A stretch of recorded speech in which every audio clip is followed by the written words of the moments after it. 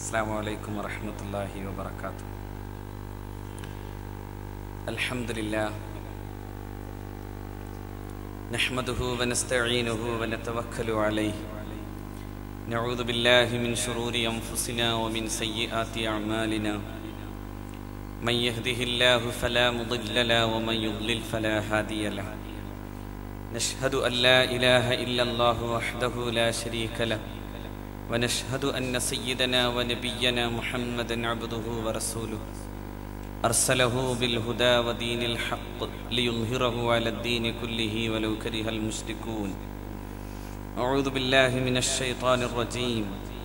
بسم الله الرحمن الرحيم. إن فرعون علا في الأرض وجعل أهلها شيعا. يستضعف طائفة منهم يذبح أبناءهم ويستحيي نساءهم إنه كان من المفسدين صدق الله مولانا العلي العظيم അഭ്യന്തരായ പണ്ഡിതന്മാർ സ്നേഹധന്യരായ ജനപ്രതിനിധികൾ വേദിയിൽ അഭിവന്ദ്യ സാന്നിധ്യമായ സുപ്രഭാതത്തിൻ്റെ എഡിറ്റർ ബഹുമാന്യായ എ എസ് സജീവൻ മറ്റു വിശിഷ്ടാതിഥികൾ സ്നേഹമുള്ള വിദ്യാർത്ഥി സുഹൃത്തുക്കൾ സ്നേഹമുള്ള സഹോദരന്മാർ. വളരെ ദീർഘമായി നമ്മുടെ ഈ സെമിനാറിലെ വിഷയാവതാരകൻ മുതൽ ഉദ്ഘാടന പ്രസംഗവും വിശിഷ്ടാതിഥിയുടെ പ്രസംഗവുമെല്ലാം വളരെയേറെ ഗൗരവപൂർവമായ ചർച്ചകളിലൂടെയാണ് കടന്നുപോയിട്ടുള്ളത്. ഞാൻ ദീർഘിപ്പിക്കാൻ ആഗ്രഹിച്ചാൽ ഒരു പക്ഷേ എന്റെ സദസ്സ് എത്രമോ എത്രമേൽ അതിനോട് സഹകരിക്കുമെന്നതിനെക്കുറിച്ചൊക്കെ ഞാൻ സന്ദേഹിക്കുന്നുണ്ട്. പക്ഷേ ഈ വിഷയത്തിന്റെ മർമ്മപ്രധാനമായ ചില വിഷയങ്ങളിലൂടെ മാത്രം കടന്നു പോകാൻ ഞാൻ ആഗ്രഹിക്കുകയാണ്. ഞാൻ എന്റെ ഈ പ്രഭാഷണത്തിന്റെ തുടക്കത്തിൽ ഓതി വെച്ച ആയത്ത് മുതൽ അതിപ്രധാനമായി നാം പഠിക്കേണ്ട ഒരു കാര്യം ലോകത്ത് രാഷ്ട്രീയാധികാര കേന്ദ്രീകൃതമായി നിന്നിട്ടുള്ള സാമ്രാജ്യത്വം. എന്നും ചെയ്ത ഏറ്റവും പ്രധാനപ്പെട്ടത് സമൂഹത്തിൽ ആ സമൂഹത്തിന്റെ ആ ജനതയെ വിഭജിക്കാൻ ആവശ്യമായിട്ടുള്ള പദ്ധതികൾ ആലോചിക്കലാണ്. ആ വിഭജനം തീർത്തും തങ്ങളുടെ അധികാരത്തിന്റെ അസ്ഥിവാരം ഉറപ്പിക്കുന്നു എന്നതാണ്. ഏത് കാലത്തെയും സാമ്രാജ്യത്വ രാഷ്ട്രീയം ചെയ്തിട്ടുള്ള പരിപാടി. അതുകൊണ്ടാണ് അത്തരമൊരു പൊളിറ്റിക്കൽ ഇമ്പീരിയലിസം എന്നതിനെ ഏറ്റവും വ്യക്തമാക്കി അള്ളാഹു റബുൽ ഇസത്ത് പറഞ്ഞു തരുന്നത് ഇന്ന ഫിർ ഫിൽ അർൽ നിശ്ചയം ഫറോവ ഭൂമിയുടെ അധികാരം ഏറ്റെടുത്തു. എന്നിട്ട് അവൻ ചെയ്ത ഏറ്റവും പ്രധാനപ്പെട്ട കാര്യം അവൻ ഭൂമിയിലെ ആളുകളെ വർഗീകരിച്ചു. പരസ്പരം തമ്മിലടിക്കാൻ ആവശ്യമാകുന്ന വിധം ഇന്ന വർഗം ഇന്ന വർഗം എന്ന് തിരിച്ചു. മിൻഹും അതിലൊരു വിഭാഗം ആളുകളെ അടിമകളാക്കി മാറ്റി ദുർബലരാക്കി.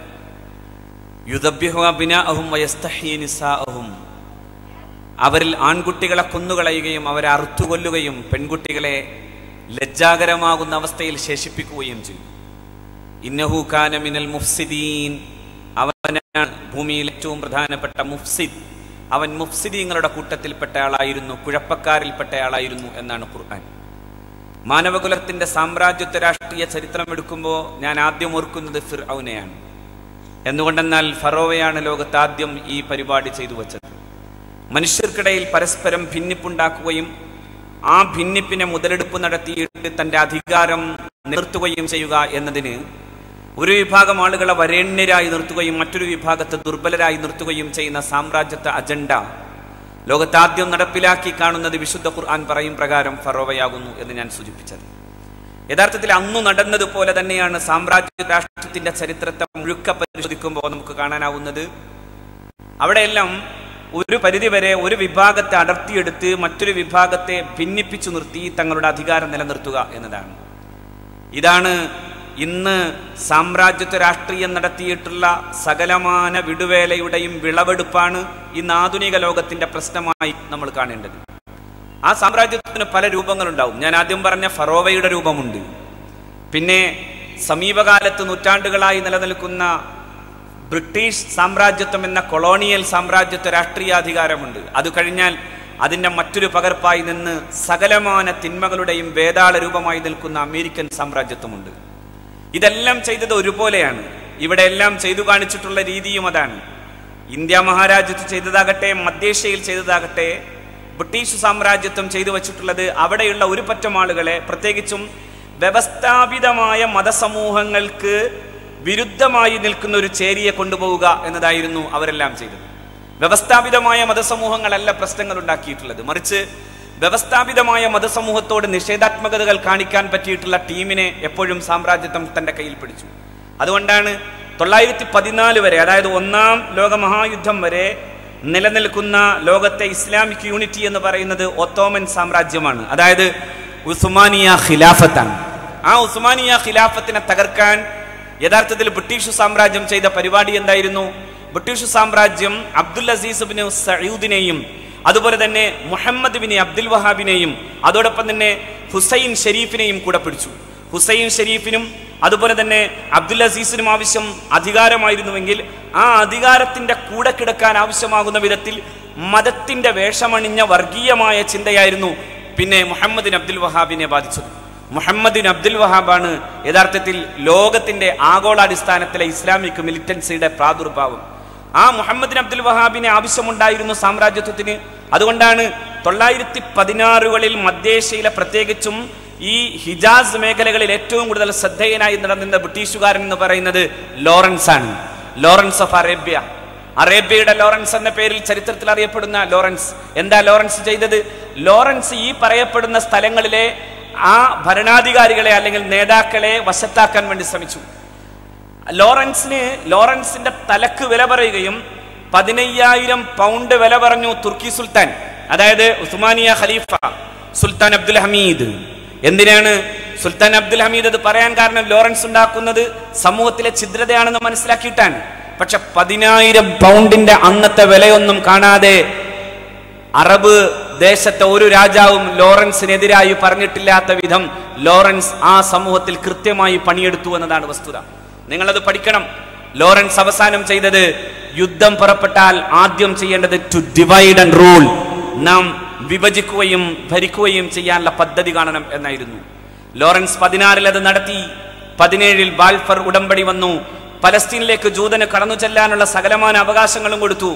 ആ അവകാശത്തിന്റെ നൂറാം വാർഷികം ആലോചിക്കുമ്പോഴാണ് അമേരിക്കയുടെ ട്രംപ് പറയുന്നത് ജെറൂസലം ജെറൂസലം ഇസ്രയേലിന്റെ തലസ്ഥാനമാണെന്ന് അവിടെയാണ് ഞാൻ സൂചിപ്പിച്ചത്. മുഹമ്മദ് അബ്ദുൽ വഹാബിന്റെ കുഴപ്പം എന്തായിരുന്നു എന്ന ചോദ്യം വന്നേക്കാം. ഞാൻ പറയുന്നു മതത്തെ അതിന്റെ അടിസ്ഥാന നന്മയിൽ കണ്ടവർ ആരും വർഗീയവാദികളല്ല. ആരും വർഗീയവാദിയല്ല. മുഹമ്മദ് ബിൻ അബ്ദില്ല വർഗീയവാദിയല്ലാത്തതാണ്. മുഹമ്മദ് സല്ലല്ലാഹു അലൈഹി വസല്ലം. മുഹമ്മദ് റസൂലുള്ള വർഗീയവാദിയല്ലാത്തതാണ് ഇസ്ലാമിന്റെ ചരിത്രത്തിൽ നമുക്ക് കാണാൻ കഴിയുന്ന ഏറ്റവും വലിയ മാനവികത. അവിടെ വിശുദ്ധ ഖുർആൻ അവതരിക്കപ്പെട്ട പ്രവാചകൻ സല്ലല്ലാഹു അലൈഹി വസല്ലമ തങ്ങളുടെ ജീവിതം മുഴുക്കെ അള്ളാഹുവിന്റെ പ്രവാചകൻ സമൂലാഗ്രം മാനവികനായിരുന്നു. സമൂലാഗ്രം. അതുകൊണ്ടാണ് മാർട്ടിലിങ്സ് പ്രവാചകൻ സല്ലല്ലാഹു അലൈഹി വസല്ലം മദീനയിൽ നിന്ന് വിശുദ്ധ മക്കയിലേക്ക് നടത്തുന്ന ജൈത്രയാത്രയുടെ കഥ പറയുന്നിടത്ത് മാർട്ടിലിങ്സ് ഒരു കാര്യം പറയുന്നു. ഞാൻ ആ സമയത്ത് കണ്ട ഏറ്റവും വലിയ മുഹൂർത്തമായി അടയാളപ്പെടുത്തുന്നത് മഹാനായ പ്രവാചകൻ സല്ലാഹു അലൈ വസല്ലമ തങ്ങൾ മക്കയുടെ താഴ്വരയിൽ ചെല്ലുമ്പോ ആ താഴ്വരയിൽ പരിഭ്രാന്തയോടെ പരിഭ്രാന്തിയായി ഓടുന്ന പരിഭ്രാന്തിയോടുകൂടെ ഓടുന്ന ഒരു നായയെ കണ്ടു. ആ നായ അതിന്റെ കുഞ്ഞുങ്ങളെ തന്റെ മാറത്തേക്ക് അടുക്കി പിടിക്കാൻ വേണ്ടി ശ്രമിച്ചപ്പോ അഷ്റഫുൽ ഹൽഖുസല്ലാഹു അലൈഹി വസല്ലം ആ കാഴ്ച കണ്ടിട്ട് പതിനായിരത്തോളം വരുന്ന തന്റെ പ്രിയപ്പെട്ട അനുയായികളോട് ആവശ്യപ്പെട്ടത് തന്റെ ഈ യാത്ര ഇവിടെ അവസാനിപ്പിച്ച് ആ നായക്ക് ആവശ്യമാകുന്ന സൗകര്യം ചെയ്തു കൊടുത്ത് ആ അമ്മയെ അതിന്റെ കുഞ്ഞുങ്ങളോട് അടുപ്പിച്ചു നിർത്താതെ നമുക്കിനി മുന്നോട്ട് പോകാൻ കഴിയില്ലെന്ന് പറയുകയായിരുന്നു മുഹമ്മദ് മുസ്തഫ സല്ലല്ലാഹു അലൈഹി വസല്ലം. മാർട്ടിൻ ലിങ്സ് പിന്നെ മുസ്ലിമായി. പക്ഷേ മാർട്ടിൻ ലിങ്സ് പറയുന്ന ഏറ്റവും മനോഹരമായ മുഹൂർത്തം അതാണ്. എന്തുകൊണ്ടെന്നാൽ അവിടെ അള്ളാഹുവിന്റെ പ്രവാചകൻ സല്ലല്ലാഹു അലൈഹി വസല്ലം ഒരു നായ എന്ന അമ്മയ്ക്ക് വേണ്ടിയാണ്. നായ എന്ന മാതാവിന് വേണ്ടിയാണ് പ്രവാചകൻ സല്ലല്ലാഹു അലൈഹി വസല്ലമ തങ്ങൾ തന്റെ ഈ വലിയ സംഘത്തെ നിർത്തിയത്. എന്നിട്ട് ആ സംഘത്തിൽ നിന്നൊരു സഹാബിയെ വിളിച്ചിട്ട് അള്ളാഹുവിന്റെ പ്രവാചകൻ സല്ലല്ലാഹു അലൈ വസല്ലമ തങ്ങൾ ഈ നായക്ക് കാവലിരിക്കാൻ വേണ്ടി ആവശ്യപ്പെടുകയും ആ നായ സുരക്ഷിതയാണെന്ന് മനസ്സിലാക്കിയിട്ട് മാത്രമാണ് തന്റെ യാത്രാ സംഘത്തോട് യാത്ര പുറപ്പെടാൻ വേണ്ടി ആവശ്യപ്പെടുകയും ചെയ്യുന്നത്. ഞാൻ പറഞ്ഞു വന്നത് ഈ പ്രവാചകന്റെ മാനവികതയിൽ നിന്ന് വ്യത്യസ്തമായ മറ്റൊന്നാണ് മുഹമ്മദ് അബ്ദുൽ വഹാബ്. അതുകൊണ്ടാണ് മുഹമ്മദ് അബ്ദുൽ വഹാബിന്റെ ആശയത്താൽ പ്രചോദിതമാണ് ഐസ് എന്ന് ഞാൻ പറഞ്ഞതല്ല. ഐസിനെ കുറിച്ച് പഠിച്ചിട്ടുള്ളവർ മുഴുവനും പറയുന്നത് അതാണ് രണ്ട് വളരെ പ്രഗത്ഭരായ മഹാരഥന്മാരുടെ കബറ് പൊളിച്ചു ഐസ്. മഹാനായ സയ്യിദുന യൂനുസ് നബി അലൈഹി ഇസ്ലാമിന്റെ. സയ്യിദുന മഹാനായ ഇമാമുൻ നബവി ഖദ്ദസല്ലാഹു അസീസ് ഇമാം നബവി എന്ന് പറയുന്നത് ഇസ്ലാമിക സമൂഹത്തിന്റെ കർമ്മസരണിയിൽ അതിന്റെ കർമ്മശാസ്ത്ര സരണിയിലെ ഏറ്റവും പ്രമുഖനാണ്. മഹാനായ ഇമാം ഷാഫിയുടെ ശേഷം ഇമാം ഷാഫിയോളം വലിയതെന്ന് പറയാവുന്ന വിധം ദ സെക്കൻഡ് ഷാഫി എന്ന പേരിൽ അറിയപ്പെടുന്നയാളാണ് സയ്യിദുന ഇമാമുൻ നബവി ഖദ്ദസല്ലാഹു അസീസ് ഇമാം നബവിയുടെ കബർ പൊളിച്ചതിന്റെ ചിത്രം വെച്ചിട്ട് പ്രഗത്ഭനായ ഇർഫാൻ ഹബീബ് ദി ഹിന്ദു പത്രത്തിൽ എഴുതി ഇത് മറ്റാരുമല്ല ഇതിന്റെ പ്രചോദന കേന്ദ്രം. They are influenced by the ideology of Muhammad Abdul Wahhab Muhammad Abdul വഹാബിന്റെ ഐഡിയോളജിയാണ് പ്രശ്നം. എന്തുകൊണ്ടാണ് മുഹമ്മദ് അബ്ദുൽ വഹാബിന്റെ ഐഡിയോളജി എന്ന് ഞാൻ ഇങ്ങനെ കറച്ചു ഇങ്ങനെ ഇങ്ങനെ തറച്ചു പറയാൻ കാരണം? യഥാർത്ഥത്തിൽ ഇവർക്കൊന്നും മതമല്ല പ്രശ്നമായത്. ഇന്ത്യയിലേക്ക് വരൂ നിങ്ങൾ. ഇന്ത്യയിൽ മതമുള്ളവനല്ല പ്രശ്നമുണ്ടാക്കിയത്. മറിച്ച് രാഷ്ട്രീയാധികാരം ഉറപ്പിക്കുന്നവനാണ്. ഇവിടെ എന്താ ചെയ്തത്? സാമ്രാജ്യത്വ രാഷ്ട്രീയം ചെയ്തത്. ഈ നാട്ടിൽ നേരത്തെ ഇവിടെ സൂചിപ്പിക്കപ്പെട്ടതുപോലെ ശിവജി ഒരു ഹിന്ദു വർഗീയവാദിയാണെന്നും ഔറംഗസീബ് ഒരു ഇസ്ലാമിക് തീവ്രവാദിയാണെന്നും കൃത്യമായി ചരിത്രത്തെ വളച്ചൊടിച്ചു പറഞ്ഞു. അങ്ങനെ പറഞ്ഞു. അതുകൊണ്ടാണ് തൊള്ളായിരത്തി നാൽപ്പതിൽ കൺപൂർ ലഹള ഉണ്ടായപ്പോ ആ ലഹള സംബന്ധമായി പഠിക്കാൻ വേണ്ടി ഇന്റർനാഷണൽ കോൺഗ്രസ് ഒരു കമ്മീഷൻ നിശ്ചയിച്ചു. ആ കമ്മീഷന്റെ റിപ്പോർട്ട് ബിപൻ ചന്ദ്ര എന്ന പ്രഗത്ഭനായ എഴുത്തുകാരൻ ദ കമ്മ്യൂണലിസം ഇൻ ഇന്ത്യ എന്ന പുസ്തകത്തിൽ അദ്ദേഹം പറഞ്ഞു അദ്ദേഹം ആ റിപ്പോർട്ട് ഇങ്ങനെ കൊടുക്കുന്നുണ്ട്. ആ റിപ്പോർട്ട് ഇതാണ് we are consider we consider therefore an attempt to remove the historical misconception is the first and the most indispensable step in the solution of Hindu Muslim problem ഇന്ത്യയിലെ മുസ്ലിം ഹിന്ദു പ്രശ്നം പരിഹരിക്കണോ? ഹിസ്റ്റോറിക്കൽ മിസ്കൺസെപ്ഷൻസ് മാറ്റണം. ചരിത്രപരമായ തെറ്റുധാരണകൾ മാറ്റണം.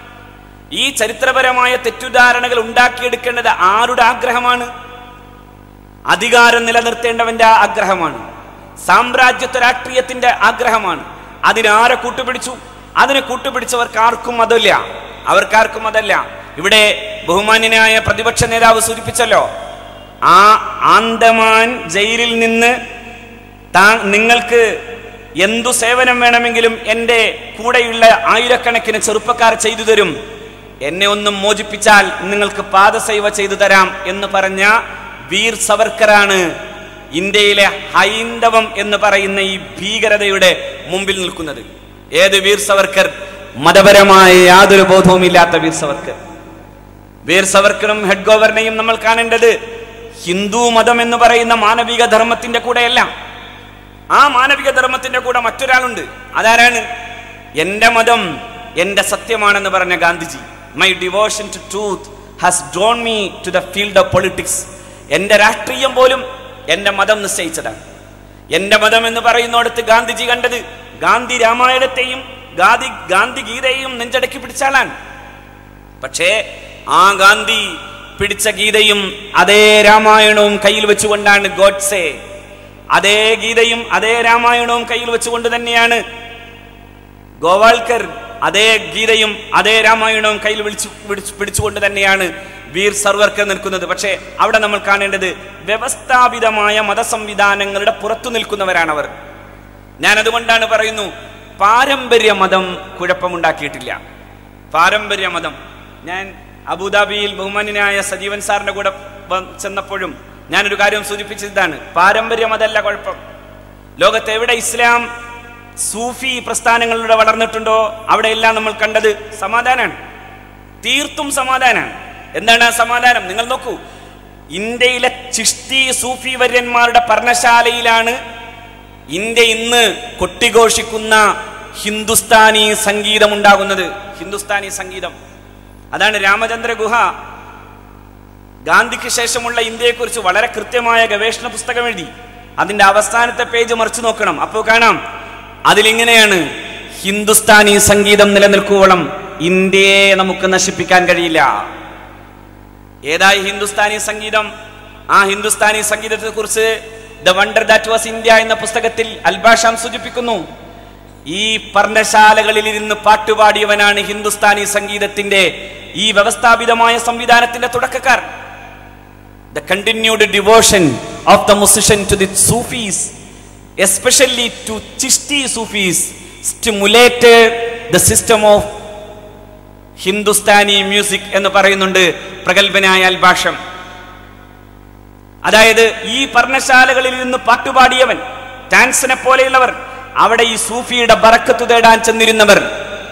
സൂഫിയുടെ ബറക്കത്തു തേടാൻ ചെന്നിരുന്ന ഹിന്ദു ഗായകൻ അവിടെ ഇരുന്ന് ഇന്ത്യയ്ക്ക് സമ്മാനിച്ചതാണ് യഥാർത്ഥത്തിൽ ഹിന്ദുസ്ഥാനി ഇന്നലോ ഇന്ത്യ ആകെ പാകിസ്ഥാനായാലും ഇന്ത്യ എന്ന് പറയുന്ന ഈ അഖണ്ഡമായ ഭൂരേഖയിൽ നമ്മൾ കാണുന്നത് ഹിന്ദുസ്ഥാനി സംഗീതമാണ്. എന്തുകൊണ്ടാണ് ആ ഹിന്ദുസ്ഥാനി സംഗീതം പോലെയുള്ളത്? ഈ പറയപ്പെടുന്ന ആദാന പ്രദാനങ്ങളിലൂടെ വളർന്നു. അവിടെ കണ്ടത് ഈ മതം അങ്ങനെ ഒരു പ്രഘോഷണമാക്കി മാറ്റിയവന്റെതായിരുന്നില്ല അത്. നിങ്ങൾ മനസ്സിലാക്കണം ഇപ്പോ മതപരിവർത്തനം നടത്തിയിരിക്കുന്നു ഞങ്ങൾ എന്ന് പറഞ്ഞ് വലിയ വീരവാദം മുഴക്കുന്നവരുണ്ടല്ലോ. ആയിരത്തി തൊള്ളായിരത്തിലാണ് ഇങ്ങടുത്ത് പൊന്നാണിയിൽ ഒരു ഒരു ഇസ്ലാം മതസഭ രൂപീകരിക്കപ്പെടുന്നത്. ആ സഭയ്ക്ക് വേണ്ടി കൊടുത്തത് ഹൈന്ദവ സഹോദരന്റെ സ്വത്താണ്. അവനാണ് വക്കുഫ് ശരിയാവുമോ ഇല്ലയോ എന്ന് വേറെ കാര്യം. തന്റെ സ്വത്തെടുത്ത് ഈ മുസ്ലിങ്ങളായി വരുന്ന ഇതര മതവിഭാഗങ്ങളിൽപ്പെട്ട സഹോദരന്മാരെ പാർപ്പിക്കാനും ആവശ്യമായത് ചെയ്തു കൊടുക്കാനും വേണ്ടിയുള്ളത് സൗകര്യമൊരുക്കുന്ന സ്വത്തിലേക്ക് കൊടുക്കാൻ ഈ നാട്ടിലെ ഹൈന്ദവ സഹോദരനുണ്ടായിരുന്നു. അവിടെ ആ ആയിരത്തി തൊള്ളായിരത്തിന്റെ മുമ്പും പിമ്പും മതപരിവർത്തനവുമായി വരുന്ന എത്രയോ സഹോദരന്മാർ നാട്ടിൽ വന്നു. ഇവിടെ എന്ത് പ്രശ്നമുണ്ടായി? ഞാൻ ഇന്ന് ഈ സമീപകാലത്തുണ്ടായ മതപരിവർത്തന പ്രശ്നങ്ങളെ കാണുന്നത് അവനവന്റെ മതത്തിലേക്ക് വരുന്നതിനെ ആഘോഷിക്കാൻ വേണ്ടി ശ്രമിച്ചപ്പോഴുണ്ടായതാണ് പല അപകടവും. അവനവന്റെ മതത്തിലേക്ക് വരുമ്പോൾ എല്ലാ മതങ്ങളെയും ഒരു ബഹുസ്വര രാജ്യം എന്ന നിലയിൽ ഒരുമിച്ച് കൊണ്ടുപോകുമ്പോൾ ഈ പ്രഘോഷണത്തിന്റെ വലിപ്പം പറയേണ്ട ആവശ്യം വല്ലാതെ വരുന്നില്ല. അതുകൊണ്ടാ നിലമ്പൂര് ക്രൈസ്തവ മിഷണറി പ്രവർത്തനങ്ങൾ വല്ലാതെ രൂക്ഷമായി. മഹാനായ ഷെയ്ഖുന ഷംസുലമ അഭിഷേകമായി രംഗപ്രവേശം ചെയ്തു. മഹാനായ ഷംസുലമ എന്തേ ചെയ്തത്? മഹാനവറുകൾ അന്ന് ഈ ബിബ്ലിക്കൽ സിദ്ധാന്തങ്ങൾ മുന്നിൽ വെച്ചുകൊണ്ട് തന്നെ അവരോട് സംവദിച്ചു. അവരിൽ പലർക്കും മാനസാന്തരമുണ്ടായി. ഞാനതിനെ വെളിപ്പെടുത്തി പറയല്ല. അവരിൽ പലർക്കും മാനസാന്തരമുണ്ടായി. ഇതേ ഷംസുലമ പിന്നെ എന്തേ കേരളമൊട്ടുക്കും സ്നേഹസംവാദത്തിന്റെ വഴി പറയാതിരുന്നത്? എന്തേ അങ്ങനെ ചെയ്യാതിരുന്നത്? അത് പാരമ്പര്യം അറിയുന്നു. ഈ നാട്ടിന്റെ ബഹുസ്വരമായ യാഥാർത്ഥ്യത്തിന്റെ മുന്നിൽ അങ്ങനെ പോകുന്നത് കൊണ്ടുണ്ടാകുന്ന അപകടത്തെക്കുറിച്ചുള്ള ബോധ്യം മഹാനായ ശംസുല്ലുലമ എന്ന നമ്മുടെ കാലം കണ്ട ജ്ഞാന ഇതിഹാസത്തിനുണ്ടായിരുന്നു എന്നതുകൊണ്ടാണ് അത് കൃത്യമായി അങ്ങനെ തന്നെ നിലനിൽക്കാൻ കാരണം. ഞാൻ ഈ പറയുന്നത് വിയോജിക്കാം യോജിക്കാം പക്ഷെ ഞാൻ പറയുന്നു പതിനായിരക്കണക്കിന് ആളുകളെ വച്ചിട്ട് ഓരോരുത്തരെ ക്യൂ ആക്കി നിർത്തി. ഷഹാദത്തു കലിമ ചെല്ലുന്ന ഒരു നാട് ബഹുസ്വരമാകുന്നു എന്ന യാഥാർത്ഥ്യം എന്തുകൊണ്ട് പ്രബോധകൻ മനസ്സിലാക്കിയില്ല? എന്തുകൊണ്ട് മനസ്സിലാക്കിയില്ല?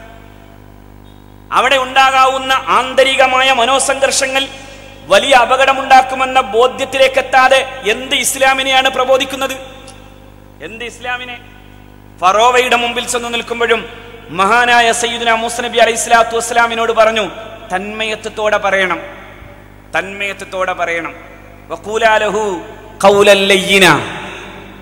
കണ്ടോ? തന്മയത്വത്തോടെ പറയണം പ്രബോധനം അങ്ങനെയാകണം. ഒരു ബഹുസ്വര സമൂഹത്തിന്റെ യാഥാർത്ഥ്യങ്ങളെ അറിയാത്ത പ്രബോധന രീതിയല്ല സൂഫികൾ ഉണ്ടാക്കിയത്. മഹാനായ അജ്മീരി ഖദ്ദസല്ലാഹു വരുന്നുണ്ടോ? എന്താ മിണ്ടാത്തത് ഖാജ ഇതൊരു മതേതര സംവിധാനങ്ങളുടെ പ്രസംഗമായതുകൊണ്ടാണോ തർലിയത്തും തഖ്ദീസും ഒന്നും പറ്റാത്തത്? ഏ? അത് കുഴപ്പമൊന്നുമില്ല. ഞാൻ ആ വിഷയം തന്നെ മറ്റൊരു വിഷ ഒരു വേർഷനിൽ പറഞ്ഞു എന്നുള്ളൂ. വിഷയം ഒന്ന് തന്നെയാണ്. നോക്കൂ നിങ്ങൾ. മഹാനായ ഖാജ മൊയിനുദ്ദീൻ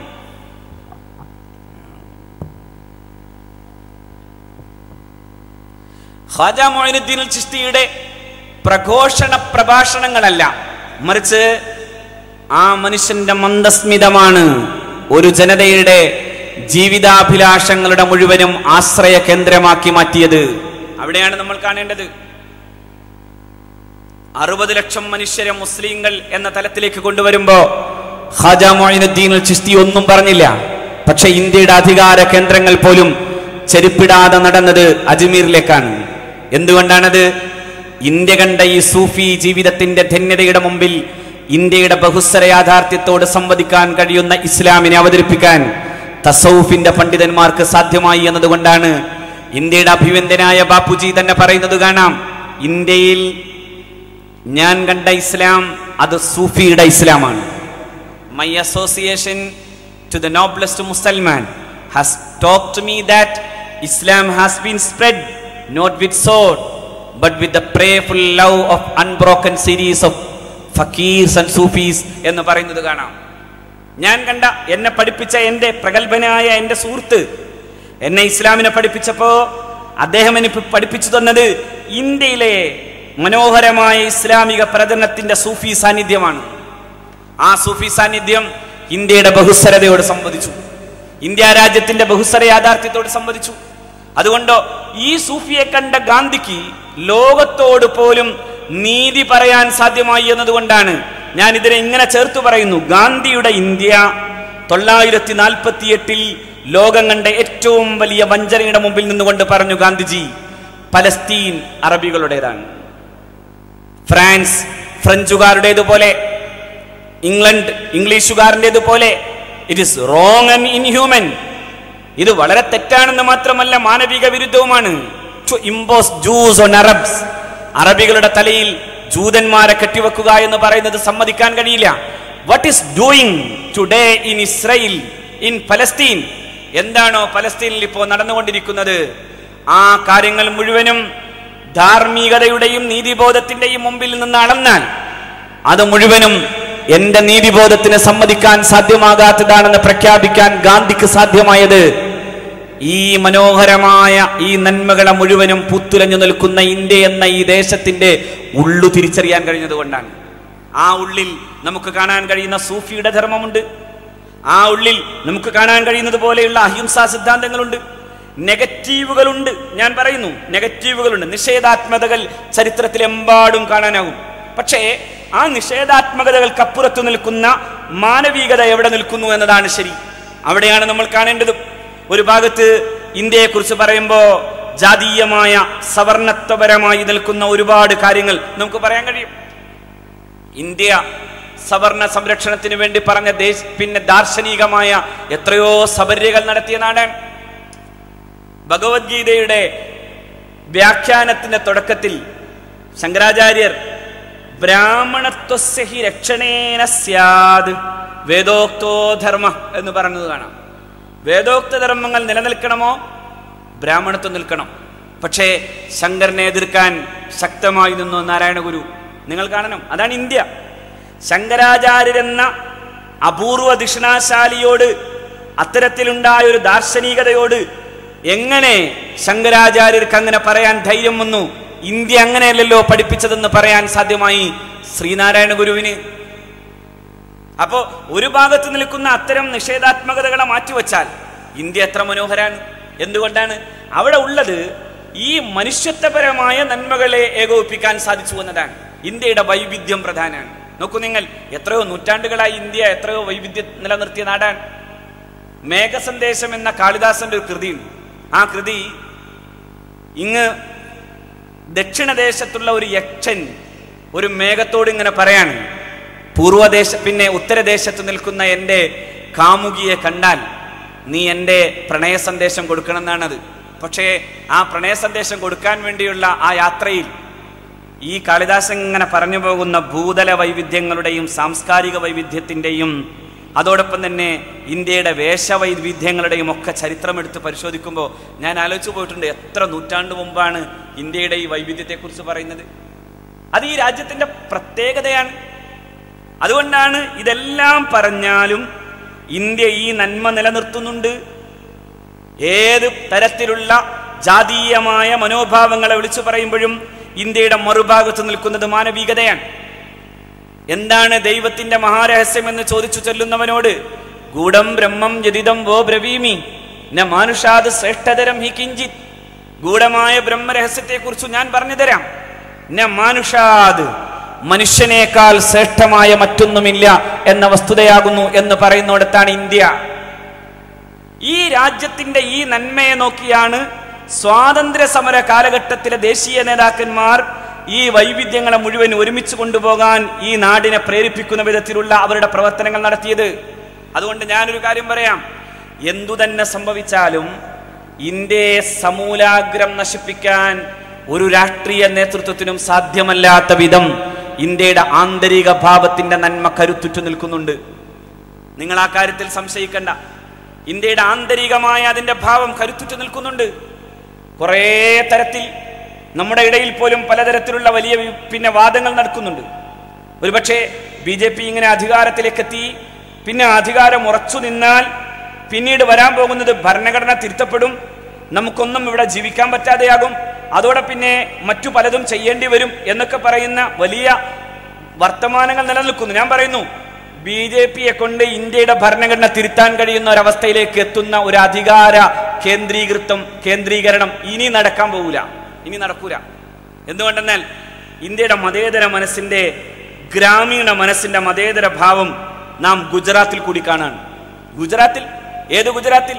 ഈ പറയപ്പെടുന്ന കേവലം ഒമ്പത് ശതമാനം മാത്രമുള്ള മുസ്ലിങ്ങൾ പാർക്കുന്ന ഗുജറാത്തിൽ അവിടുത്തെ ഗ്രാമങ്ങളിൽ സെക്കുലർ മൈൻഡ് നിലനിൽക്കുന്നു എന്നതിന്റെ തെളിവാണ് ഈ അടുത്തു നടന്ന സകലമാന നുണക്കഥകളും ചൊല്ലി പറഞ്ഞിട്ട് പോലും അതൊന്നും ഏശാതെ നിന്നത്. അല്ലേ? ഒരു പ്രധാനമന്ത്രി സാധാരണ പ്രധാനമന്ത്രിമാരെന്നൊക്കെ പറയുമ്പോൾ അയാൾ എത്ര മോശമായ രാഷ്ട്രീയ പശ്ചാത്തലത്തിൽ വളർന്നു വന്നിട്ടാണെങ്കിലും കൂടി ഒരു രാജ്യത്തിന്റെ ഭരണാധികാരിയാകുമ്പോൾ സാമാന്യമായ ഒരു ഒരു ഒരു ഒരു മാന്യത പാലിക്കും. പക്ഷെ ഒരു മാന്യതയുണ്ടോ? നിങ്ങൾ ആലോചിച്ച് നോക്കൂ പാകിസ്ഥാൻ ചാരന്മാർ കടന്നു വന്നിരിക്കുന്നു എന്ന് പറയുമ്പോൾ നിങ്ങൾ ആലോചിച്ച് നോക്കിയേ അത് അതായത് പാകിസ്ഥാൻ ഇവിടെ ഗുജറാത്തിൽ കോൺഗ്രസ് ജയിച്ചാൽ പാകിസ്ഥാനിൽ പടക്കം പൊട്ടും എന്ന് പറയുന്ന തരത്തിലേക്ക് വളരെ മോശമായ അർത്ഥത്തിലുള്ള വളരെ വലിയ ഒരു ഒരു ഒരു തന്ത്രം തെരഞ്ഞെടുപ്പിന്റെ ഭാഗമായി ഇവർ ഒരുക്കുമ്പോൾ നമ്മൾ ആലോചിച്ച് നോക്കണം. ഒരു പ്രധാനമന്ത്രിക്ക് യോജിച്ചതല്ല. ഞാൻ പറയുന്നു അമിത്ഷാ പറയട്ടെ. നരേന്ദ്രമോദി അത് പറയുമ്പോൾ അദ്ദേഹം ഇന്ത്യയുടെ പ്രധാനമന്ത്രിയാണ്. ഇന്ത്യയുടെ പ്രധാനമന്ത്രി ആരായിരിക്കണം എന്ന ബോധം ഇന്ത്യയുടെ പ്രധാനമന്ത്രിക്കില്ലാതെ പോയി എന്നതാണ് നമ്മൾ കാണുന്നത്. ഇന്ത്യയുടെ പ്രധാനമന്ത്രിമാരുടെ ലിസ്റ്റ് എടുക്കുമ്പോൾ എത്ര വലിയ മനുഷ്യരിരുന്ന കസേരയാണ് ഇന്ത്യൻ പ്രധാനമന്ത്രി എന്ന കസേര? പണ്ഡിറ്റ് ജവഹർലാൽ നെഹ്റു ഇരുന്ന കസേര? അല്ലേ നെഹ്റു എന്ന് പറയുന്ന മനുഷ്യരിരുന്ന കസേരയാണ്. ജയിലിൽ കിടക്കുമ്പോൾ വലിയ വലിയ പുസ്തകങ്ങൾ എഴുതിയ മനുഷ്യനാണ് Pandit ji the discovery of India the glimpse of world history എത്ര വലിയ പുസ്തകങ്ങളാ? നമ്മുടെ രാജ്യത്തിന്റെ മാത്രമല്ല ലോകത്തിന്റെ തന്നെ വൈവിധ്യങ്ങളെയും ചരിത്രത്തിന്റെ വഴികളെയും കൃത്യമായി നിരൂപിച്ചുകൊണ്ട് എഴുതിയ പുസ്തകങ്ങളുടെ അങ്ങനെ കനപ്പെട്ട ഗ്രന്ഥങ്ങൾ എഴുതിയിട്ടുള്ള വലിയ മനുഷ്യനാണ് പണ്ഡിറ്റ് ജവഹർലാൽ നെഹ്റു. എന്നാലോ നെഹ്റു ഏതു ദശാസന്ധിയിലും നിരന്തരം നിലനിർത്തിയിരുന്നത് സെക്കുലറിസാണ് എന്താ ഇന്ത്യയുടെ പ്രത്യേകതയായി ഞാൻ പറയുന്നു ഇന്ത്യയുടെ ദേശീയ നേതൃത്വം ഒരു കാലത്ത് വളരെ ശക്തമായി ഏറ്റവും വലിയ നിർണായക സന്ധിയിൽ ഇന്ത്യ എങ്ങോട്ട് പോകണമെന്ന് പറയുന്നിടത്ത് വളരെ ശക്തമായി നിന്നിരുന്നത് ഈ രാജ്യം സെക്കുലറിസം നിലനിർത്തണം എന്ന് തന്നെയാണ്. തൊള്ളായിരത്തി നാൽപ്പത്തിയേഴ് ഓഗസ്റ്റ് പതിനാലിന്റെ രാത്രി ആ അർദ്ധരാത്രിക്ക് ശേഷം വിഭജനത്തിന്റെ കിരാതമായ അതിന്റെ കരാളഭീകരമായ രാത്രി അഞ്ചു ലക്ഷം മനുഷ്യരാണ് ഈ പാകിസ്ഥാൻ എന്ന് വിഭജിക്കപ്പെട്ട ദേശത്തേക്കും ഇന്ത്യ എന്ന ഈ മഹാദേശത്തേക്കും പരസ്പരം അങ്ങോട്ടും ഇങ്ങോട്ടും കടന്നു പോകുമ്പോൾ ലോകം കണ്ട ഏറ്റവും വലിയ കുടിയിറക്കത്തിന്റെയും കുടിയേറ്റത്തിന്റെയും ചരിത്രത്തിൽ അഞ്ചു ലക്ഷം മനുഷ്യരും മരിച്ചു വീഴുന്നുണ്ട്. പക്ഷേ എന്നിട്ടും ഇന്ത്യ എങ്ങനെ പോകണമെന്നതിന്റെ മുമ്പിൽ അന്നത്തെ കോൺഗ്രസ് ആ കോൺഗ്രസ് കൃത്യമായി പറഞ്ഞ ഒന്നുണ്ട് ഈ രാജ്യം ഒരു സെക്കുലർ രാജ്യമാകണം. ഈ രാജ്യത്തെ ന്യൂനപക്ഷത്തിന്റെ അവകാശങ്ങൾ സുരക്ഷിതമാകണം. നമ്മൾ കോൺഗ്രസിനെ ഞാൻ രാഷ്ട്രീയം വരാമെന്ന് വിചാരിക്കേണ്ട പക്ഷേ നമ്മുടെ വൈകാരികത മുഴുവൻ കൂടി കൊണ്ടുപോന്ന് കോൺഗ്രസിനെ നശിപ്പിച്ചേ അടങ്ങുമെന്ന് തീരുമാനിച്ചപ്പോൾ വന്നതാര? കോൺഗ്രസിനേക്കാളും വലിയ മഹത്തായ പാർട്ടിയല്ലേ? ഞാൻ കോൺഗ്രസ്സുകാരനൊന്നായിട്ടല്ല പക്ഷേ വൈകാരികത കൂടിപ്പോയിട്ടുണ്ടായ ഒരു അബദ്ധം നോക്കൂ. ഡൽഹിയിൽ ഒരു ബുഹാരി ഉണ്ടായിരുന്നു. മൂപ്പര് പ്രസംഗിച്ചപ്പോൾ വാജ്പേയിയാണ് ജയിച്ചത്. ഇവിടെ ഉണ്ടായിരുന്നു കുറെ ആളുകൾ. ഇപ്പോ അങ്ങനെ പറഞ്ഞാൽ അത് ശരിയാകുമോ എന്നുള്ളത് കൊണ്ട് ഞാൻ പറയണില്ല. പക്ഷേ വല്ലാത്ത വിധ്വംസകവും വല്ലാത്ത വിക്ഷുബ്ധവുമായ പ്രസംഗങ്ങൾ നടത്തുമ്പോൾ വിവരം എല്ലാവർക്കും ഉണ്ടാകാം. പക്ഷേ പക്വതയാണ് പ്രധാനം. വിവരത്തിന് വലിയ പ്രശ്നമൊന്നുമില്ല. കുറെ പുസ്തകം വായിച്ചാൽ പക്വതക്കാണ് പ്രശ്നം. വിവരം എന്ന് പറയുന്നത് ഇപ്പോഴാണെങ്കിൽ ഒരു ബുദ്ധിമുട്ടില്ല കാരണം എന്തെങ്കിലും ചെറിയ എന്തോ ഒന്നുണ്ടായാൽ മതി. ഒന്നിങ്ങനെ അടിച്ചു കൊടുത്താൽ കുറെ ഇങ്ങനെ വന്നോളും. അപ്പൊ പിന്നെ വിവരം കൂട്ടാൻ പ്രശ്നമൊന്നുമില്ല. പക്ഷെ പക്വത പ്രശ്നമാണ്. പക്വത വലിയ വിഷയമാണ്. പക്വത എവിടെ നിന്ന് ഉണ്ടാകേണ്ടത്? അത് ശരിക്കും പറഞ്ഞാൽ പാരമ്പര്യത്തിൽ നിന്ന് ആർജിതമാകേണ്ടതാണ് പക്വത. ചില ആളുകൾക്ക് ഉസ്താദുമാരെ കേൾക്കാൻ നേരം ഉണ്ടായിരുന്നില്ല. ഇവിടെ വലിയ വിക്ഷുബ്ധ പ്രസംഗങ്ങൾ നടത്തി. എന്തു സംഭവിച്ചു എന്ന് ഞാൻ പറയുന്നില്ല. അള്ളാഹു എല്ലാവരും രക്ഷപ്പെടുത്തട്ടെ എന്ന് ദ്വാരക്കുകയാണ് ഞാൻ. പക്ഷേ അതിനേക്കാൾ അപ്പുറം ഞാൻ ഒന്നും പറയുന്നില്ല. പക്ഷെ ഒന്നുണ്ട്. എന്താണ് നേടിക്കൊടുത്തത്? എന്താ നേടിക്കൊടുത്തത്? ഈ ഈ വലിയ മുദ്രാവാക്യങ്ങൾ എന്തു നേടിക്കൊടുത്തു? കോൺഗ്രസ് മുക്ത ഭാരതം എന്ന് ചിലർ പലരും പറഞ്ഞു. ഞാൻ പറയുന്നു എനിക്ക് രാഷ്ട്രീയമുണ്ടെന്ന് വിചാരിക്കേണ്ട പക്ഷെ ഒന്ന് ഞാൻ പറയാം. കോൺഗ്രസ് മുക്ത രാഷ്ട്രീയം കൊണ്ട് ഇന്ത്യ എന്തു നേടി? നരേന്ദ്രമോദിയെയോ? ഇപ്പോഴും സെക്യുലറിസം എന്നതിന്റെ തണലിൽ ഒരുമിച്ചു നിൽക്കാൻ ആർക്കും സാധ്യമാകാതെ പോകുന്നതെന്തേ? എന്തൊക്കെ പറഞ്ഞാലും കോൺഗ്രസിനൊരു വലിപ്പല്ലേ? ഇന്റർനാഷണൽ കോൺഗ്രസിന്റെ പ്രസിഡന്റുമാരായി ഇന്ത്യയുടെ സ്വാതന്ത്ര്യത്തിന്റെ മുമ്പും പിമ്പും നിൽക്കുന്നത് ആരാ? എത്ര ആളുകളാണ് അല്ലേ? മൗലാന അബുൽ കലാം മൗലാന മുഹമ്മദ് അലി ബദറുദ്ദീൻ തൊയ്യുബിജി എന്തൊക്കെ വലിയ പേരുകളാണ്. ഇവർ ഏതൊക്കെ വിഭാഗത്തിൽപ്പെടോ ഇല്ല എന്നുള്ളതിനെ കുറിച്ച് പിന്നെ ആലോചിക്കാം. പക്ഷേ മുസ്ലിം നാമധാരികൾ മുസ്ലിം നാമധേയങ്ങൾ മുസ്ലിം എന്ന ഇസ്ലാമിന്റെ ആകത്തുകയെ തീർത്തും അംഗീകരിച്ചവരും അതിനെ സമ്പൂർണാർത്ഥത്തിൽ പാലിച്ചവരുമായിരുന്നു മൗലാന മുഹമ്മദ് അലി. മൗലാന മുഹമ്മദ് അലി കേംബ്രിഡ്ജിൽ പഠിക്കുമ്പോഴും നല്ല താടിയും നല്ല തൊപ്പിയും നല്ല ഇസ്ലാമും ഉണ്ടായിരുന്നു. മുഹമ്മദ് അലി കപ്പൽ കടന്ന് കടൽ കടന്ന് കപ്പലിറങ്ങി വരുമ്പോ മൗലാന മുഹമ്മദ് അലിയുടെ ഉമ്മ മുഖത്ത് നോക്കി ചോദിച്ച ചോദ്യമുണ്ട് മോനെ നിന്റെ തൊപ്പിയും നിന്റെ താടിയും നീ മാറ്റിയിട്ടില്ലെന്നത് പോലും എന്റെ സന്തോഷമാണ്. കാരണം പാശ്ചാത്യവൽകൃതമായ മനോഭാവങ്ങളുമായി എങ്ങാനും നീ തിരിച്ചു വന്നാലോ എന്നെനിക്ക് ഭയമുണ്ടായിരുന്നു. അപ്പോഴും മൗലാന മുഹമ്മദ് അലി പറഞ്ഞ ഒന്നുണ്ട് എന്നെ അവിടുത്തെ മടിത്തട്ടിലിട്ട് എനിക്ക് ഒരു മഹാമനുഷ്യന്റെ ജീവിതത്തിന്റെ ആ വലിയ വർത്തമാനങ്ങൾ പറഞ്ഞു തന്നതിന്റെ ഓർമ്മകൾ നിലനിന്നതുകൊണ്ട് തന്നെ ഞാൻ വാളിന്റെ മൂർച്ചയുള്ള തണുപ്പത്ത് പോലും തഹജുദ് മറന്നിട്ടില്ല ഉമ്മ എന്ന് അഷ്റഫുൽ ഹൽക്കിനെ പറഞ്ഞു കൊടുത്തതിനെ കുറിച്ച് മൗലാന മുഹമ്മദ് അലി പറയുന്നു. പക്ഷെ മൗലാന മുഹമ്മദ് അലി കണിശമായ ഇസ്ലാമിക ജീവിതം നയിക്കുമ്പോഴും കണിശമായ ഇന്ത്യക്കാരനായി. ആ മൗലാന മുഹമ്മദ് അലിയോട് ഏറ്റവും കൂടുതൽ അടുപ്പം കാണിച്ചത് ഗാന്ധിയാണ്. ഏതു ഗാന്ധി? ശുദ്ധ ഹിന്ദുവും ശുദ്ധ ബ്രാഹ്മണനുമായിരുന്ന ഗാന്ധി. ശുദ്ധ ബ്രാഹ്മണൻ. നോക്കൂ നിങ്ങൾ. ഇന്ത്യയിലെ രണ്ടു പ്രമുഖർ വലിയ ബ്രാഹ്മണരാണ്. ഒന്ന് പണ്ഡിറ്റ്ജി. പണ്ഡിറ്റ്ജി നല്ല ബ്രാഹ്മണനാണ് കാശ്മീരി ബ്രാഹ്മണനാണ് പണ്ഡിറ്റ് ജവഹർലാൽ.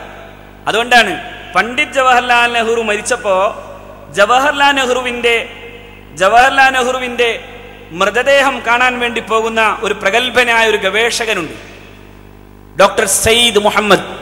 അദ്ദേഹത്തിന്റെ അദ്ദേഹം കുന്നു കയറി പോകാൻ വേണ്ടി പാടുപെടുമ്പോ ആ മനുഷ്യന്റെ കൈ പിടിച്ചു പോകുന്നുണ്ട്. ഇന്ത്യയിലെ ദളിത് വിമോചന പ്രസ്ഥാനങ്ങളുടെ കൂട്ടുകാരനായിരുന്ന ജഗ്ജീവൻ റാം. ഈ ജഗ്ജീവൻ റാം ഇദ്ദേഹത്തിന്റെ ഈ മുസ്ലിം സഹോദരന്റെ കൈ പിടിച്ചു പോകുമ്പോ പ്രഗത്ഭനായ ഒരു അമേരിക്ക അമേരിക്കൻ ഗവേഷക വിദ്യാർത്ഥി എഴുതിയത് രാമചന്ദ്ര ഗുഹ അദ്ദേഹത്തിന്റെ പുസ്തകത്തിൽ എഴുതുന്നത് കാണാം. ഒരു ബ്രാഹ്മണന്റെ മൃതദേഹം കാണാൻ ഒരു ദളിത് നേതാവിന്റെ കൈപിടിച്ച് ഒരു മുസ്ലിം നേതാവിത കടന്നു പോകുന്നു എന്നാണ്. ഇതാണ് ഇന്ത്യ. ഇതാകണം ഇന്ത്യ. എന്തൊരു മനോഹരാണിത്. ഒരു ബ്രാഹ്മണന്റെ മൃതദേഹം കാണാൻ ഒരു ദളിത് നേതാവിന്റെ കൈപിടിച്ച് പോകുന്നത് ഇന്ത്യയിലെ ന്യൂനപക്ഷ വിഭാഗത്തിന്റെ പ്രതിനിധിയായ ഡോക്ടർ സെയ്ദ് മഹ്മൂദാണ്. അദ്ദേഹത്തിന് എങ്ങനെ പോകാൻ ധൈര്യം കാണിക്കാൻ കഴിയുന്ന വിധം ഇന്ത്യ എന്ന ദേശീയ സങ്കല്പത്തിന്റെ സ്വഭാവം ഇതായിരുന്നു. ഇന്ത്യൻ നാഷണൽ കോൺഗ്രസ് നിരന്തരം നിലനിർത്തിക്കൊണ്ടുപോകുന്ന ഒരു സത്യം ഇതാണ്. അതുകൊണ്ടാ ഈ അധികാരം തന്റെ കയ്യിലാകുമ്പോ ഇന്ത്യയിലെ വിവിധ സംസ്ഥാനങ്ങളിലെ മുഖ്യമന്ത്രിമാർക്ക് അന്ന് പണ്ഡിറ്റ് ജവഹർലാൽ നെഹ്റു എഴുതി ഇന്ത്യയെ കുറിച്ച് നിങ്ങൾ അറിയണം we have always to remember India as a composite country India എല്ലാ വൈവിധ്യങ്ങളെയും ഒരുമിച്ച് നിൽക്കുന്ന ഒരു രാജ്യമാണ്. അത് ഭാഷയിലുണ്ട് ജീവിതശീലങ്ങളിലുണ്ട്.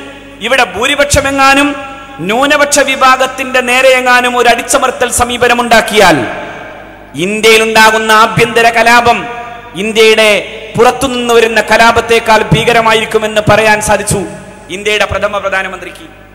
ആ രീതിയിൽ ഒരു ദേശീയമായ ഒരു കാഴ്ചപ്പാടിനെ രൂപീകരിച്ചു ഇന്ത്യ. അത് എവിടെ നിന്ന് കിട്ടിയത്? നമ്മുടെ രാജ്യത്തിന്റെ പൈതൃകങ്ങളിൽ നിലനിന്നതുമാണ്.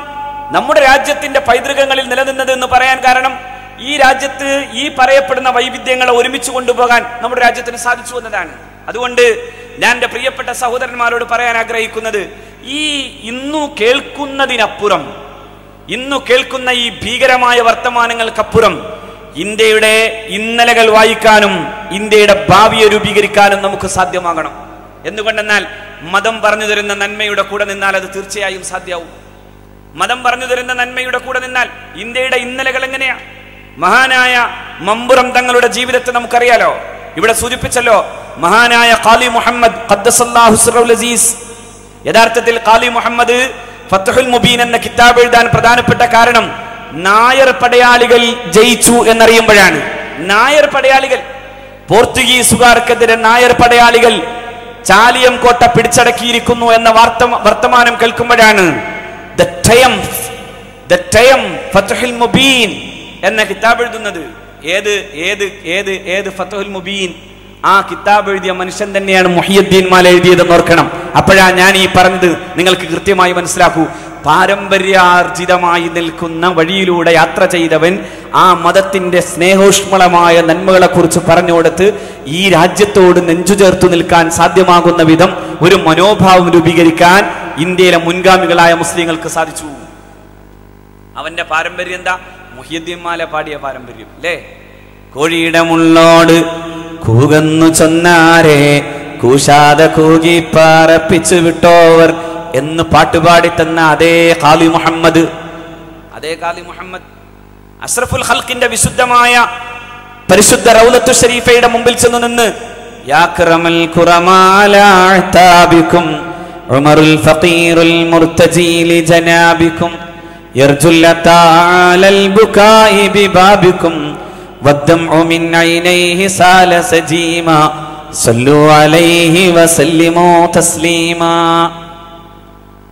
വിശുദ്ധരിൽ വിശുദ്ധരെ അങ്ങയുടെ പരിശുദ്ധമായ മട്ടുപ്പാവിലിതാ ഈ പാവം അമർ വന്നു നിൽക്കുന്നു. അങ്ങയുടെ ഔദാര്യം പ്രതീക്ഷിച്ചുകൊണ്ട് ഇവന്റെ കവിളണകളിലൂടെ ഒഴുകുന്ന കണ്ണുനീര് സാക്ഷിയാണ് നബിയെ എന്ന് പരിശുദ്ധ മുഹമ്മദ് മുസ്തഫ സല്ലല്ലാഹു അലഹി വസല്ലമ തങ്ങളുടെ മുമ്പിൽ അത് പറയുമ്പോഴാണ് പരിശുദ്ധ പ്രവാചകന്റെ ഹൃദയം തുറന്നതുപോലെ അവിടുത്തെ റൗലയുടെ കവാടം തുറക്കപ്പെട്ടു എന്ന് നാം ചരിത്രത്തിലൂടെ വായിക്കുന്നുവെങ്കിൽ അതേ ഉമർ കാലിയാണ് വെളിയങ്കോട്ട പള്ളി ഉണ്ടാക്കാൻ ചോയ് എന്ന് പറയുന്ന ഹിന്ദു സഹോദരനെ ഏൽപ്പിക്കുക മാത്രമല്ല ആ ചോയ്ക്ക് സമ്മാനമായി കാക്കാത്തറ തറവാട്ടിന്റെ മൂന്നേക്കറോളം വിസ്തൃതമായ സ്ഥലം അങ്ങ് വകവച്ചു കൊടുക്കുന്നത് അവിടെ തന്നെയാണ് ചോയി പോയി ഒരു ക്ഷേത്രം നിർമ്മിക്കുന്നത്. ആ ക്ഷേത്രത്തിനോട് വിസമ്മതം കാണിച്ചിട്ടില്ലായിരുന്നു. മഹാനായ കാളി ഉമർ അസീസ് തങ്ങൾ ജീവിച്ചത്. ഇവിടെ ഒരു ദലിത് പെണ്ണിനെ ക്ഷേത്രത്തിൽ കടക്കാനാവില്ലെന്ന് വന്നപ്പോ കാവുണ്ടാക്കാൻ അനുവാദം കൊടുത്തയാളാണ് മമ്പുറം തങ്ങൾ. ഇങ്ങനെയൊക്കെയാണ് ഇങ്ങനെയാണ് നമ്മൾ ജീവിച്ചത്. ഇങ്ങനെ ജീവിച്ചു എന്ന ബോധം പണ്ഡിതന്മാരായ സുഹൃത്തുക്കൾ ഈ ഈ പറയപ്പെടുന്ന എന്റെ പ്രിയപ്പെട്ട പണ്ഡിത സുഹൃത്തുക്കൾ നാളെ ഈ ഉമ്മത്തിന് നേതൃത്വം കൊടുക്കുന്നവർ ഇവർക്കൊക്കെ ഉണ്ടാവണം ഉണ്ടാവണമെന്ന് മാത്രമല്ല ഇത് പ്രചരിപ്പിക്കണം. നമ്മൾ പ്രചരിപ്പിക്കേണ്ടവരും പ്രചരിപ്പിച്ചു കൊണ്ടേയിരിക്കുന്നവരുമാണ് എന്തുകൊണ്ടെന്നാൽ ഇതു നിലനിൽക്കണം. ഈ നാട് നിലനിൽക്കണം. ഈ നാട്ടിന്റെ ബഹുസ്വരത എന്ന് പറയുന്നത് അതിന്റെ പൗരാണികമായ വഴിയിലൂടെ ആർജിച്ചെടുത്തത് അതിന്റെ ഭരണഘടനയിലും കൃത്യമായി വച്ചതാണ്. നോക്കൂ നിങ്ങൾ ഇന്ത്യയുടെ ഭരണഘടന പോലെ ഒരു ഭരണഘടന മനുഷ്യനിർമ്മിതമായി ഇത്ര ഇത്ര മനോഹരമായി എവിടെ കാണാനുള്ളത്? ഇപ്പൊ നിങ്ങൾ അമേരിക്കയെ പറയാം. അമേരിക്ക ഒരു വല്ലാതെ ലിബറലൈസ് ചെയ്തിട്ടുള്ള ഒരു രാജ്യമാണെന്നൊക്കെ വേണമെങ്കിൽ പറയാം. പക്ഷേ ഒരു ലിബറലൈസേഷനും അവിടെ ഇല്ല. ഞാൻ കഴിഞ്ഞ രണ്ടായിരത്തി പതിനഞ്ചിൽ പിന്നെ അമേരിക്കയിൽ പോയിരുന്നു. ബഹുമാനായ ഡോക്ടർ സുബൈർ ഹുദവി അമേരിക്കയിൽ പോയിരുന്നു. അമേരിക്കയിൽ ഒരു ഒരു യൂണിവേഴ്സിറ്റിയിലെ സെമിനാർ കഴിഞ്ഞ് ഇറങ്ങുമ്പോൾ ക്യാന്റീനിൽ പോയി. ക്യാന്റീനിൽ എന്റെ കൂടെ മുഴുവനും കറുത്ത വർഗക്കാരാണ് നമ്മളൊരു കറുത്ത വർഗക്കാരനായതുകൊണ്ടാവോ അങ്ങനെ നോക്കുമ്പോൾ ഞാൻ ചോദിച്ചു എവിടെ പോയി നമ്മുടെ വൈറ്റ്സ്? ആ ഫ്രണ്ട്സിനെ ആരെയും കാണാനില്ലല്ലോ?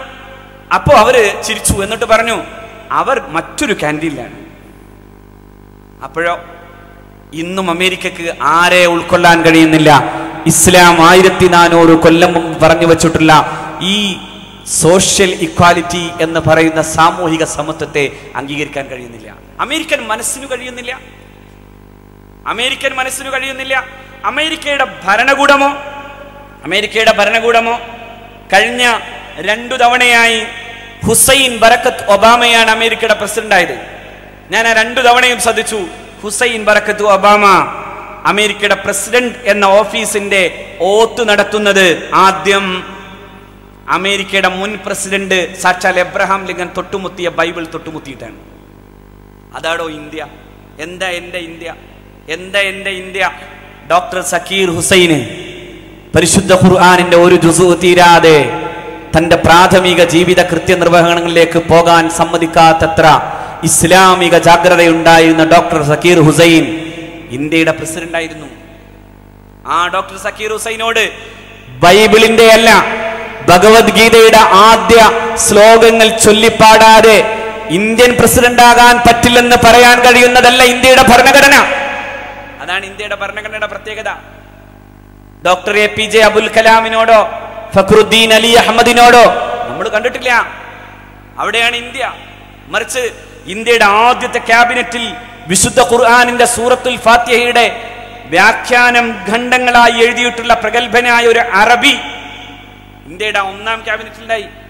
അദ്ദേഹം അറബിക് ഒറിജിനാണ് മുഹിയദ്ദീൻ എന്നാണ് അദ്ദേഹത്തിന്റെ പേര്.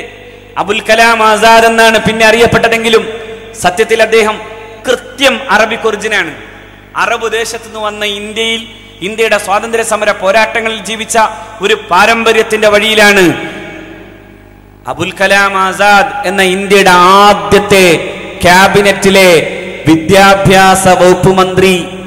നിങ്ങൾ ആലോചിക്കണം വിദ്യാഭ്യാസ വകുപ്പ് മന്ത്രി എന്നൊക്കെ പറഞ്ഞാൽ വളരെ അപകടകരമായ ഒരു സ്ഥാനമാണ്. ഒരു സമൂഹത്തിന്റെ ബൗദ്ധികമായ വിഷയങ്ങളിൽ ഇടപെടാനും നിയന്ത്രിക്കാനും സാധ്യമാകുന്ന അത്രമേൽ വലിയ പരമപ്രധാനമായ ഒരു വലിയ സ്ഥാനം അത് ഇന്ത്യയുടെ കേന്ദ്ര ക്യാബിനറ്റിൽ ആദ്യം കൊടുത്തത് ഒരു മുസ്ലിമിനാണ്. ഒരു മുസ്ലിമിനാണ്. ഇന്ത്യയ്ക്ക് അതിന് കുഴപ്പമുണ്ടായിരുന്നില്ല.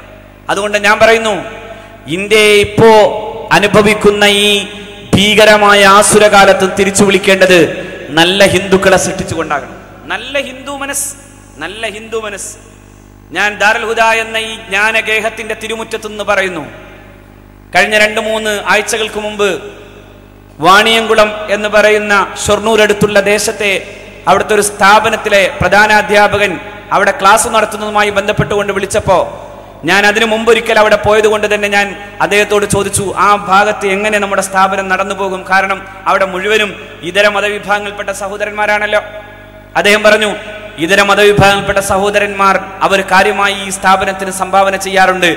ആ നാട്ടിലെ ഒരു മേനോൻ എന്ന സുഹൃത്ത് രണ്ടു ലക്ഷം രൂപയാണ് വർഷാവർഷം ആ ഇസ്ലാമിക സ്ഥാപനത്തിന് നൽകുന്നത്. നോക്കണം നിങ്ങൾ. അങ്ങനത്തെ നല്ല മനുഷ്യർ ഇവിടെ ഉണ്ടായിരുന്നു. വാഫി സ്ഥാപനങ്ങളെ സഹായിച്ചു കൊടുത്തുണ്ട്. എന്നിട്ട് അദ്ദേഹം പറയാണ് അദ്ദേഹത്തെ ഗൾഫിൽ കൊണ്ടുപോയി. വളരെ റോയൽ ആയിട്ടുള്ള ഒരു ആതിഥേയത്വം അദ്ദേഹത്തിന് നൽകി. ആ ഭക്ഷണമൊക്കെ കഴിച്ചപ്പോ അദ്ദേഹത്തിന് തന്നെ തോന്നി എന്നെ പോലെ ഒരു ചെറിയ ആളെ ഇത്ര വലിയ സ്വീകരണം നൽകേണ്ടതുണ്ടോ? മേനോനോട് ചോദിച്ചു അപ്പൊ മേനോൻ തന്റെ ഡ്രസ്സും ഈ ഈ പണ്ഡിത സുഹൃത്തിന്റെ ഡ്രസ്സും കൂടി കൂട്ടി യോജിപ്പിച്ചിട്ട് പറഞ്ഞു. ഇത് രണ്ടും അഴിച്ചു വെച്ചാൽ നമ്മൾ മനുഷ്യർ മാത്രമാണ് ഉസ്താദെ എന്നാണ്. അതാണ്. അവിടെയാണ് വലിപ്പം കാണേണ്ടത്.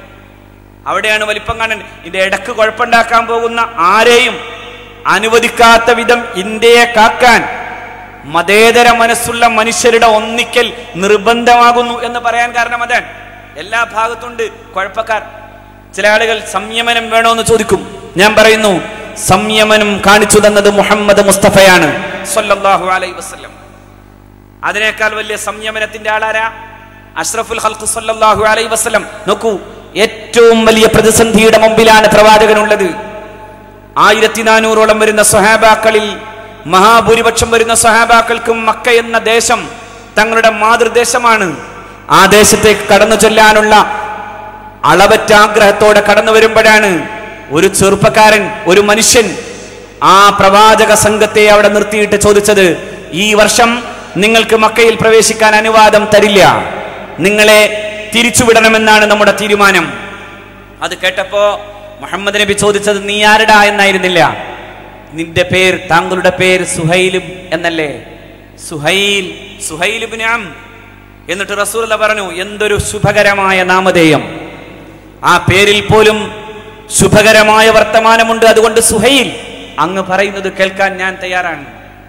അപ്പോഴാണ് ഒരു ചെറുപ്പക്കാരൻ ഓടി വന്ന് അള്ളാഹുവിന്റെ പ്രവാചകരോട് ചോദിച്ചത് അള്ളാഹുവിന്റെ റസൂൽ അങ്ങക്കെന്തേ സുഹൈലുബിന് അമ്രിന്റെ ഈ പ്രഭാഷണം കേട്ടു നിൽക്കാൻ താല്പര്യം അള്ളാഹുവിന്റെ റസൂൽ അങ്ങനെ ഒരുക്കുമെങ്കിൽ സുഹൈലുബിന് അമ്രിന്റെ പല്ലു താഴെയിടാൻ ഈ ഉമർ ബിൻ ഖത്താബ് തയ്യാറാകുന്നു എന്ന് പറഞ്ഞു ചെന്ന് നിൽക്കുന്നു. സയ്യിദുന ഫാറൂഖ് റളിയല്ലാഹു അൻ അപ്പോ അള്ളാഹുവിന്റെ റസൂൽ പറയുന്നത് കാണാം നബിയെ. നബി തിരുമേനി പറയുന്നു അല്ല ഉമർ ഈ സുഹൈലിനെ നമുക്ക് നാളെയും ആവശ്യമുണ്ട്. സുഹൈൽ എന്ന പ്രഭാഷകനെ നമുക്ക് ആവശ്യമുണ്ടെന്ന് മുഹമ്മദ് മുസ്തഫ. നോക്കണം നിങ്ങൾ ചരിത്രത്തിൽ പ്രവാചകന്റെ വിയോഗാനന്തരം രണ്ടു പ്രഭാഷണങ്ങളാണ് പരിശുദ്ധ ദീനുൽ ഇസ്ലാമിൽ ഈ ജനതയെ ഉറപ്പിച്ചു നിർത്താൻ പ്രധാനപ്പെട്ട കാരണമായത്. ഒന്ന് സയ്യിദുന സുദ്ദീഖ് റളിയല്ലാഹു അൻഹുവിന്റെ പ്രഭാഷണം മറ്റൊന്ന് സയ്യിദുന ഉമർ ബിൻ ഖത്ത മഹാനായ സുഹൈൽ ബിൻ അംറിന്റെ പ്രഭാഷണം. സുഹൈൽ മുസ്ലിമായി. പക്ഷെ ആ സുഹൈലിന്റെ പല്ല് കൊഴിച്ചിടണം എന്ന് പറഞ്ഞു ഉമർ. അപ്പോൾ അള്ളാഹുവിന്റെ റസൂൽ പറഞ്ഞു ഇന്നി റസൂലുല്ലാ ഞാൻ അള്ളാന്റെ റസൂലാണ്. ഐ ലീഡർ ഞാൻ അള്ളാഹുവിന്റെ റസൂലാണ്. എന്നെ അള്ളാഹു കൈവടിയില്ലെന്ന ഉത്തമമായ ബോധ്യമുണ്ട് അതുകൊണ്ട് ഉമർ. ഞാൻ പറയുന്നത് കേൾക്കണമെന്ന് പറഞ്ഞ മുഹമ്മദ് മുസ്തഫ. എന്നിട്ടും മനസ്സിലാവാത്ത പോലെ ഫാറൂഖ് അലി അള്ളാഹുന് നേരെ പോയത് സുദ്ദീഖുൽ അക്ബറിന്റെ അടുക്കലാണ്. എന്നിട്ട് സുദ്ദീഖ് തങ്ങളോട് ചോദിച്ചു. അബൂബക്കർ തങ്ങളോട് ചോദിച്ചു എന്തേ റസൂൽ ഇങ്ങനെ ഒരു തീരുമാനമെടുക്കുന്നു?